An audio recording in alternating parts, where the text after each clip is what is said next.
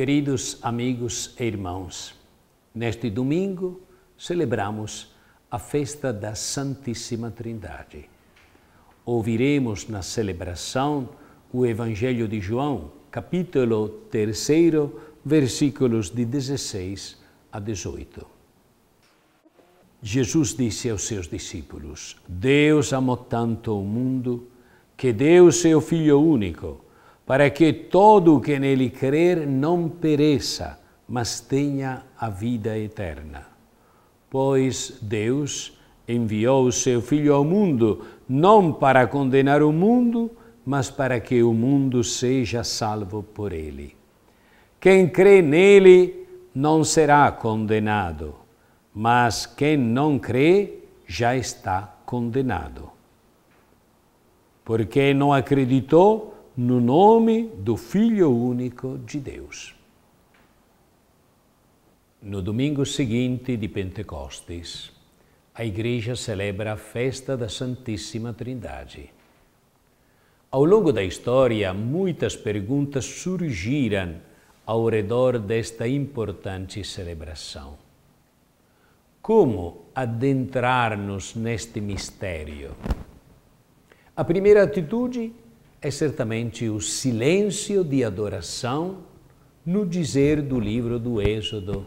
Não te aproximes daqui, tira a sandália dos pés, porque o lugar em que estás é uma terra santa. Todos experimentamos a força do Espírito dentro de nós que nos move a buscar, conhecer e amar a Deus, que, por sua vez, e, em primeiro lugar, vem sempre ao nosso encontro, porque nosso Deus é, por essência, amor que se irradia e se comunica. Deus se revela, se manifesta e se dá a conhecer, porque seu grande desejo é de que a humanidade toda participe da sua vida e mistério. Ele não faz distinção de pessoas. Seu amor é para que todo o que nele acredita não morra, mas tenha a vida eterna. Somente no seu amor, que nos habita e nos envolve com sua misericórdia, é possível conhecer sua presença em nossas vidas e no mundo todo. A Trindade nos ensina que só vivemos se convivemos. Nossa vida é chamada a ser um espelho que reflete em todo momento o mistério da Trindade. Por isso, para aceder ao conhecimento de Deus Trindade, que hoje celebramos de uma maneira especial, somos convidados a descobrir Sua presença na história de salvação. Não é preciso olhar para cima, porque Ele está no nosso mundo. A Trindade não é uma verdade na qual devemos acreditar cegamente. Ela é o fundamento de nossa experiência cristã pessoal e comunitária. Hoje não é preciso explicar melhor o dogma da Trindade. Não se trata de demonstrar a existência da luz, mas sim abrir os olhos para ver. A Trindade, que é em si mesma, se dá a conhecer na Trindade que é para nós. Um e o mesmo é o Deus em si e o Deus que se revela. O Pai, pelo Filho, no Espírito Santo. Os teólogos gregos explicavam este comportamento de Deus como condescendência de Deus que desce para se tornar um de nós. A linguagem de Deus, diz o Papa, é a linguagem do amor, de pai e de mãe. E nós devemos fazer o que o Senhor faz, fazer o que ele diz fazer como ele diz, com amor, com ternura, com a condescendência para com os irmãos. Citando o encontro de Elias com Deus, ele recordou que é como a brisa suave, ou como diz o texto original, um fio sonoro de silêncio. O Senhor se aproxima como um murmúrio do silêncio próprio do amor, sem fazer espetáculo. E se faz pequeno para fazer-se forte. Ele vai para a morte com a condescendência para que eu viva. É a partir das Escrituras que nós descobrimos como Deus é. Uma descoberta que só chega ao seu termo no final do livro das Escrituras, com o Cristo e o pleno acolhimento do seu Espírito. Então, como Deus é? Nós descobrimos que Deus é intercâmbio, reciprocidade, dom de si. Numa palavra, é trindade. Assim resulta para nós que só existimos por nos darmos aos outros, que apenas salvamos o que damos de nós mesmos para que os outros sejam. Deus é, em si mesmo, aquele que faz ser o Pai. Aquele que recebe a si mesmo e que aceita ser o Filho.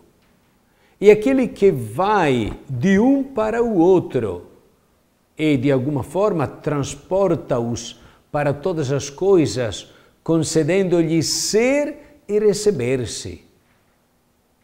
Isto tudo poderia também ser dito sob a forma de núpcias, onde o casal humano seria a imagem de Deus. Daí resulta que só podemos existir de verdade, ou seja, ser imagem e semelhança de Deus, tomando consciência de que somos frutos de uma rede de relações que, de próximo em próximo, estende-se à humanidade inteira. Assumir isto com toda a nossa liberdade equivale a aceitarmos fazer parte deste corpo. Para chegarmos até aí, temos necessidade de que Deus se revele. Sem isto, como poderíamos fazer-nos a sua imagem? Nesta festa da Santíssima Trindade, somos convidados a nos abrir ao Deus Amor. Às vezes é preciso superar antigas ideias ou concepções de um falso Deus. Ele está só interessado na sua glória, uma falsa ideia. Só alguns escolhidos podem perceber sua presença amorosa, uma falsa ideia. O amor de Deus é uma entrega generosa ao outro, sem condições, sem limites. Esta é a verdade. É despojamento de si mesmo.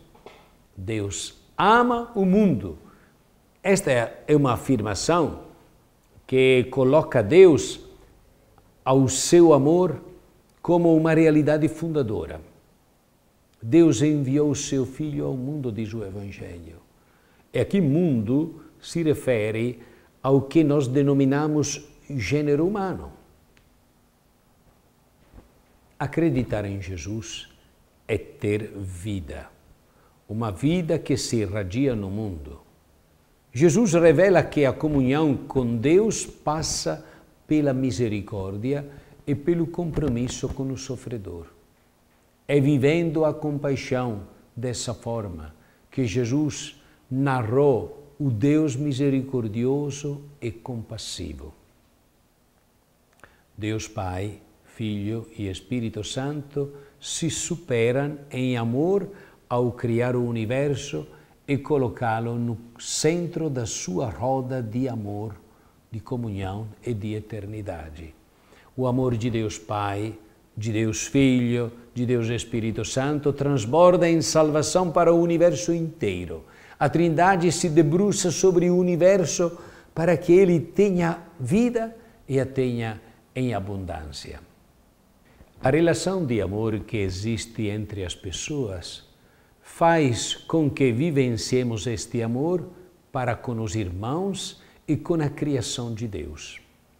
Adorar e louvar a Deus Trindade é um compromisso para viver centrado no interesse, no bem, no reconhecimento do outro, especialmente dos mais pequenos, daqueles que estão ameaçados de desaparecer da roda e que mais precisam da centralidade e da atenção. As criaturas doentes, os pobres, os pequenos, os oprimidos, os que sofrem. Nestes tempos assistimos a tantas notícias trágicas de adolescentes que se suicidam, de indígenas que se suicidam, a violência que se impõe em todo lugar, no campo e na cidade, as barbáries que ouvimos também em nosso estado. Hoje há muitas injustiças e muita corrupção, mas também há tantos exemplos de pessoas que lutam pelo amor e a justiça. A festa da Santíssima Trindade nos questiona sobre nosso amor incondicional ao próximo. O que estamos fazendo pelos doentes, pelos que sofrem as injustiças de uma sociedade estabelecida em favor do bem-estar de alguns? O que estamos fazendo para transformar o mundo? A Páscoa nos ensina que Deus é dom de si. O Pai nos dá o Filho, o Filho nos dá a sua vida e o Espírito é entregue e derramado segundo a expressão usada por São João.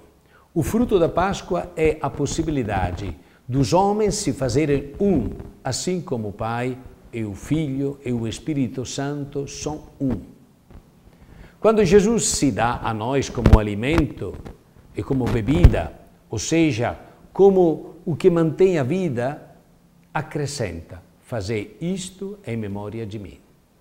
Fazer e refazer isto para que todos os tempos sejam investidos desta memória é pôr no mundo o corpo feito de membros reconciliados que nós chamamos de igreja.